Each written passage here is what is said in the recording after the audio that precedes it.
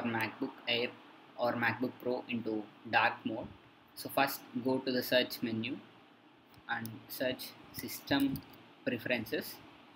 So you can see this gearbox symbol and double click that.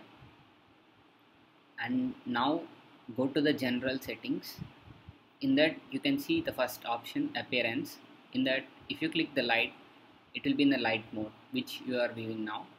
And if you select the dark it will be switching to the dark mode entirely throughout 24 hours. And if you select auto mode it will be switching between light and dark. During day it will be light mode and during night it will be dark. So in order to switch to dark we'll be selecting dark